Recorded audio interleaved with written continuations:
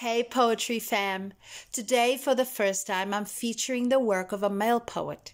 He is one of South Africa's most well known and celebrated poets because through his poetry, he fought against the apartheid regime. I'm talking about the one and only Don Mattera. Now, I love his work, it is so colorful and so deep, and there's nothing I find sexier than a man who writes love poetry. I guess it's because I'm a romantic at heart, but so is Bra Don. Because check this out. I have two of his books, right? The first one, Azanian Love Song. It in this book he writes love songs or love poems to South Africa during the apartheid years.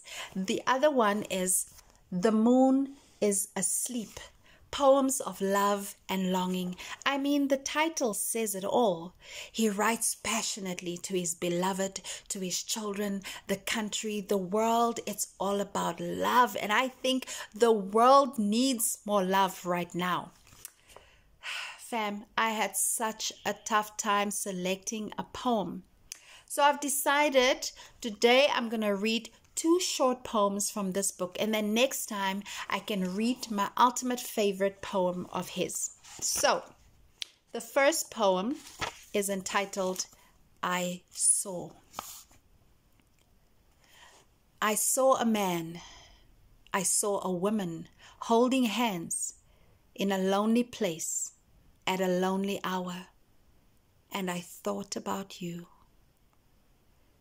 Tell me why there are lonely people, and I will show you tears in the sea.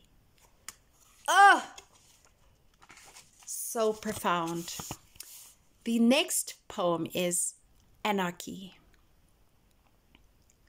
Beloved of my soul, here in the dungeon of my mind, memory is a sword and thoughts of you rise in anarchy, slashing time and space for the right to be near you, seeking the warm asylum of your love.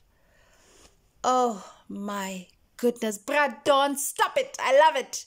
If you're a guy and you're trying to max somebody, better get yourself a copy of this book, okay?